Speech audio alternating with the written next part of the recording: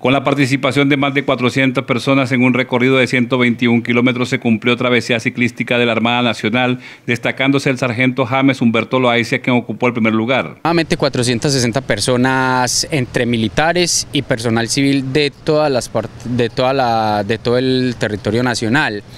La, carrera, eh, la carrera básicamente fue salida desde Bahía Málaga con 100 kilómetros de terreno destapado, eh, un terreno pues prácticamente intransitable o poco transitable para para vehículos, vehículos solamente 4x4 y, 100, y 21 kilómetros perdón, de pavimento, que fue la llegada ya al, al Distrito Especial de Buenaventura.